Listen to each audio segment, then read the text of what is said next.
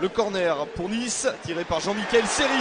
Et cette reprise à bout portant de Mario Balotelli, sauvé par Mathieu Michel. Superbe parade du gardien du SCO.